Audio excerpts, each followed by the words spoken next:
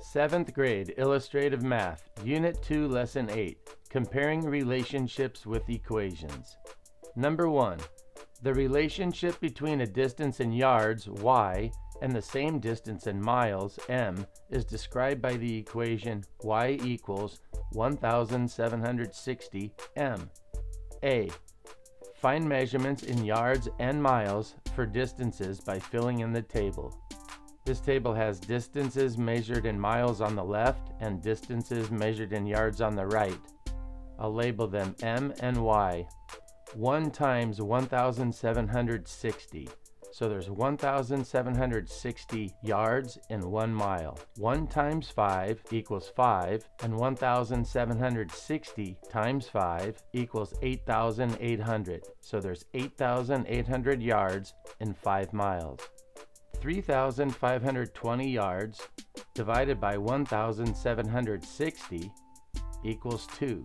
So every 3,520 yards, there's 2 miles.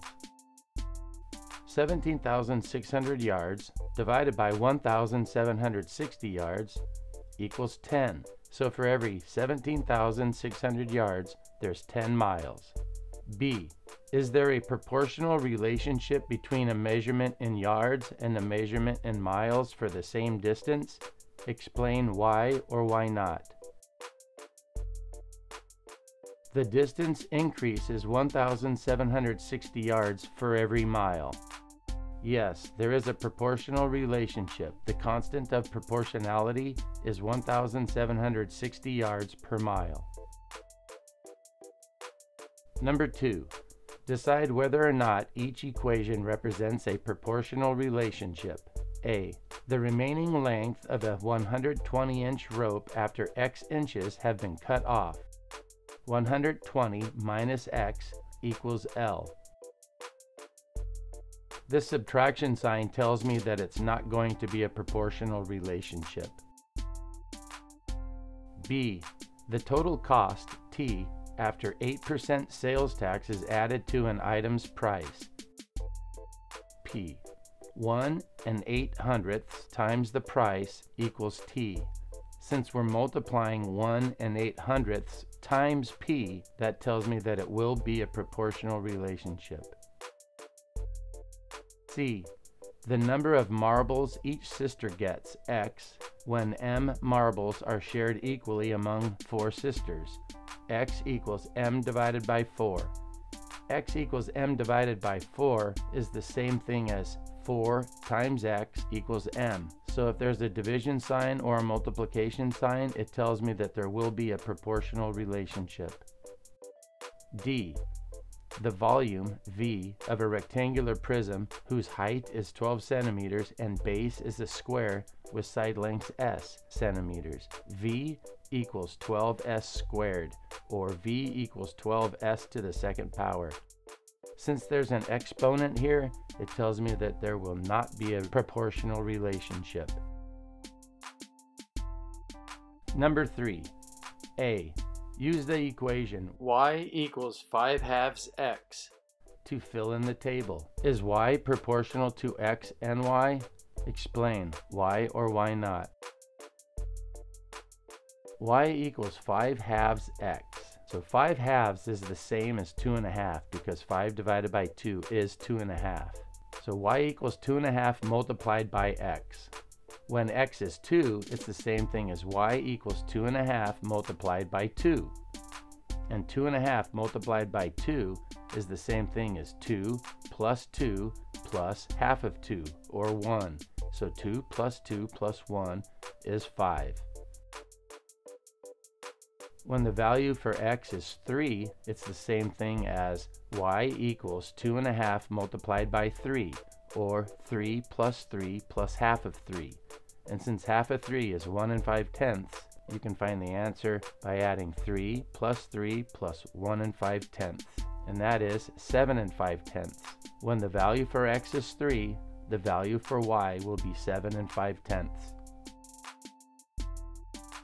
When the value for x is 6, it would be y equals 2.5 multiplied by 6, or 6 plus 6 plus half of 6. And 6 plus 6 plus 3 is 15. When the value for x is 6, the value for y will be 15. Is y proportional to x and y? Explain why or why not. Yes, y is proportional to x because y divided by x is equivalent to 5 divided by 2 in each row of the table. B. Use the equation y equals 3 and 2 tenths times x plus 5 to fill in the table. Is y proportional to x and y? Explain why or why not.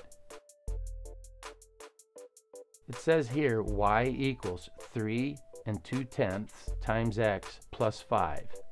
y equals 3.2 multiplied by 1 and add 5. 3 and 2 tenths multiplied by 1 is 3 and 2 tenths. Now all we have to do is add 5. That is 8 and 2 tenths. When x equals 2, y equals 3 and 2 tenths multiplied by 2 and add 5. And that equals 6 and 4 tenths plus 5 because 3 and 2 tenths times 2 is 6 and 4 tenths. And 6 and 4 tenths plus 5 is 11 and 4 tenths. So when the value for x is 2, the value for y is 11 and 4 tenths. When the value for x is 4, y equals 3 and 2 tenths multiplied by 4 and add 5. 3 times 4 equals 12, and 2 tenths times 4 equals 8 tenths. So 12 plus 8 tenths plus 5, and that equals 17 and 8 tenths. When the value for x is 4, the value for y will be 17 and 8 tenths. Is y proportional to x and y? Explain why or why not. No, y is not proportional to x because y divided by x has a different value in each row of the table. For example, if you look at the table now, you see a value of 1 for x and a value of 8 and 2 tenths for y. If we double the value for x, or we double 1, we get 2. But if we double y, or double 8 and 2 tenths, we would get 16 and 4 tenths, not 11 and 4 tenths. Number 4. To transmit information on the internet, large files are broken into packets of smaller sizes. Each packet has 1,500 bytes of information. An equation relating packets to bytes of information is given by B equals 1,500 times P, where P represents the number of packets and B represents the number of bytes of information. A. How many packets would be needed to transmit 30,000 bytes of information? 30,000 bytes and 1,500 bytes of information per packet. That's 30,000 divided by 1,500 equals 20. So there would be 20 packets needed to transmit 30,000 bytes of information. B. How much information could be transmitted in 30,000 packets? 30,000 multiplied by 1,500, that's 45 million bytes. So 45 million bytes of information could be transmitted in 30,000 packets. C. Each byte contains 8 bits of information. Write an equation to represent the relationship between the number of packets and the number of bits. Each byte contains 8 bits. Write an equation to represent the relationship between the number of packets and the number of bits.